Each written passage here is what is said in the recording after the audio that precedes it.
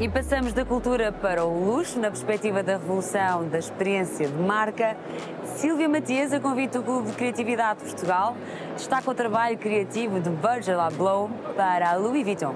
Um gênio criativo que não só alterou o conceito de luxo e a própria indústria, como deixou um legado muito além do seu tempo e do seu curto tempo de vida.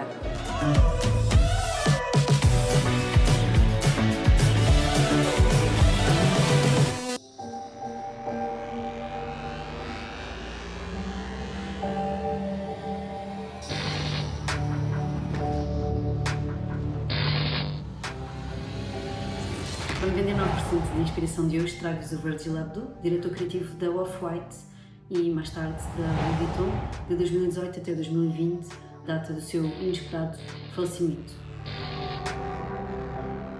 É incrível e super inteligente campanha que fez para mudar a perspectiva da marca que até à data estava mais ou menos muito reservada a um nicho e, e visualmente datada e envelhecida tornando-se assim um ponto de viragem do high fashion, existindo o que podemos chamar do pre-Virgil e um pós-Virgil, desde o desenho das suas coleções à forma como as apresenta e a comunicação para o próprio público. Para além de ser um diretor criativo absolutamente inspirado pela arte e pela música, o grande move e a grande inteligência na perspectiva foi como ele trouxe o design para o rebrand e o posicionamento da marca.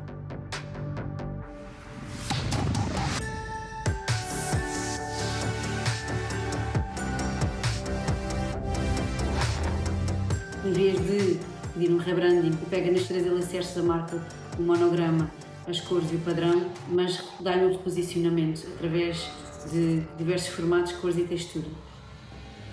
Todo o seu processo criativo e sensibilidade artística podia ser explicado em muito contexto. Deixo-vos aqui uh, este livro que partilha muito do seu processo e é quase uma bíblia do seu, do seu trabalho, uh, mas obviamente é apenas 1% de tudo o que fez, apesar do seu tempo curto, e podíamos ficar aqui umas quantas horas a falar sobre isso, mas tenho a sua palavra.